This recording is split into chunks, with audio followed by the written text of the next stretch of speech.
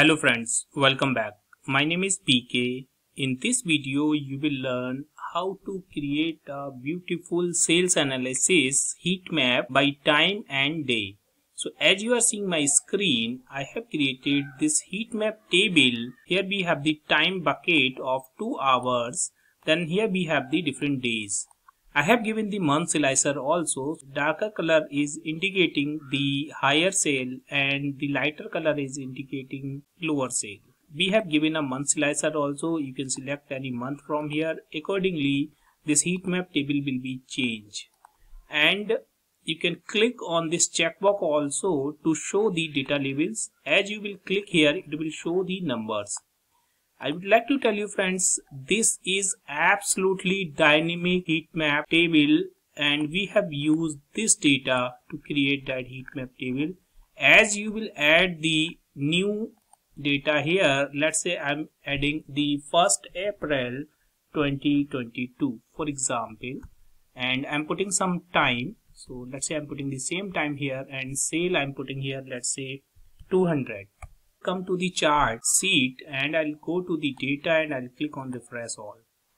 You can see here we have the April 2022. If I will click here, we are seeing only one value because we have entered only one record.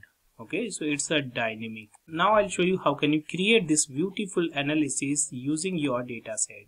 We will use this data. So let's copy this including header copy and press Ctrl N to add a new workbook and just paste this here. So friends, in this table we have date column, then the time of sale and the sales amount and then we have created a month column. Here you can see we just have used the text function. So let me delete these three columns I'll show you how you can create this using the formula. So to get the month name I'll use the text and then this date comma. In the format text I will put MMMM so that I can get the full month name.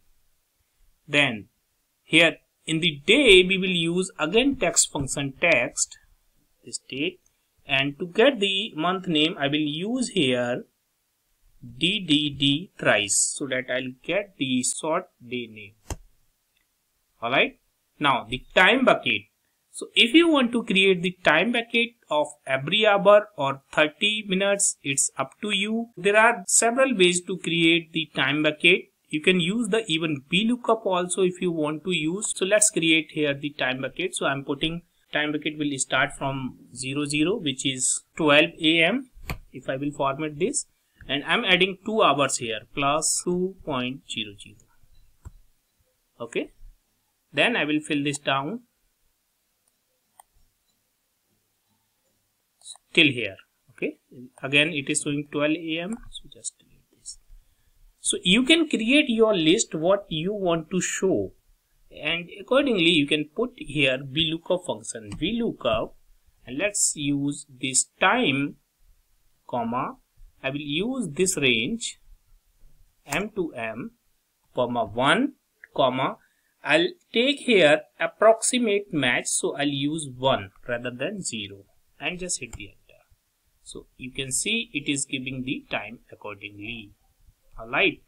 Now benefit of this formula is you can anytime change this range. Let's say if you want to keep it at 30 minute interval or 1 hour interval it's up to you. Accordingly it will create the buckets.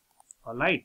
So now this table is ready and we will create a pivot table. So click anywhere on this table go to the insert and click on pivot table. Okay. Now first of all what we will do we will take here time bucket and just move this time bucket here in rows now days I will take here in columns and the sales I will take in the values. So this table has been created. First of all, we will remove the grand total from here and from here also. So click on the pivot table anywhere, go to the design, then I'll go to the grand totals. Click on off for rows and column.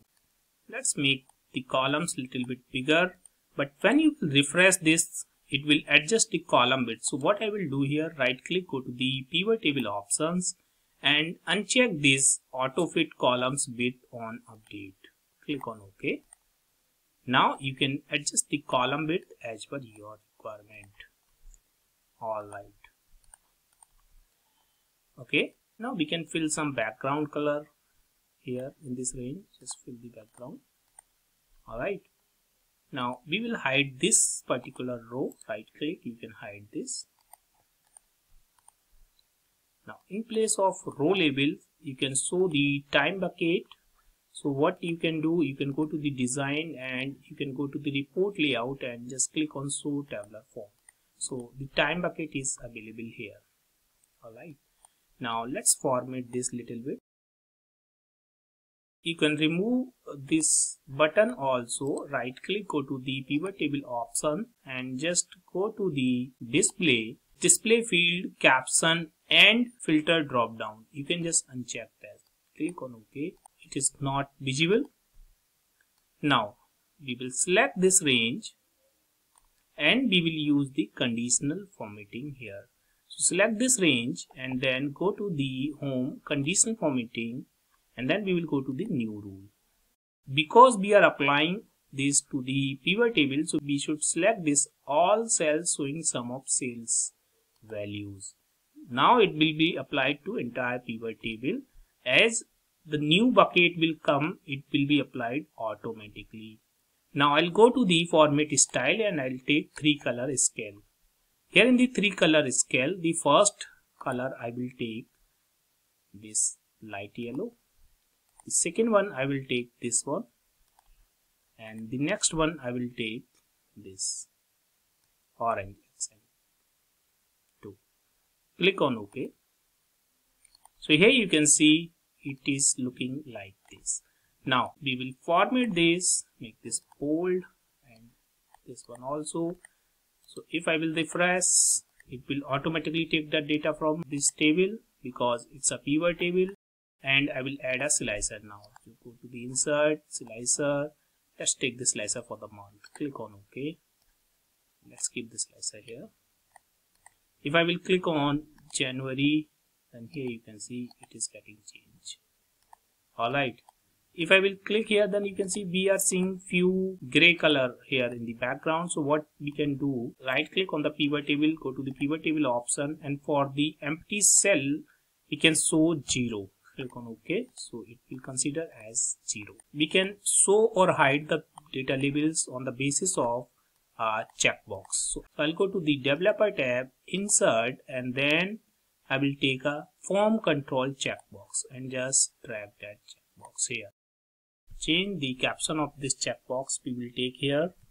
So data labels.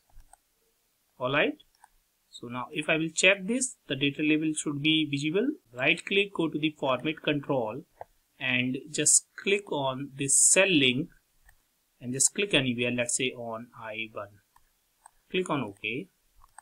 If I will click here you can see the value of I1 is true. Now it is false. Alright so if this value is false then it should not be visible. So what I will do I'll select this range and I'll go to the home. Conditional formatting new rule. And I'll go to the use a formula to determine which cell to format and make sure you have selected all cells showing sum of sales value. And here we will use I1 which is the linked cell for the checkbox if this value is equal to false then go to the format number format custom. And here I will put price semicolon. So that this text will not be visible. Click on ok. Ok. Now here you can see text is not visible but when I will click here it is visible. Alright we can make this heatmap table more attractive using some border. Select this range go to the borders and then you can go to the more borders. Select this thicker line and here we will select white. Click on outline inside. Okay so it will look like this. Alright friends. Now here you can select any month and you can just click here. Now to make this hidden what you can do you can change the font color as the background color so that it will not be visible. You can go to the view and uncheck the heading from here and grid lines also. Alright so this heat map table is ready that is how you can create this and you can use for your sales analysis. Friends i hope you have enjoyed this video. If you like this video please hit the like button and please subscribe my channel to get the regular update of my videos. Thank you so much for watching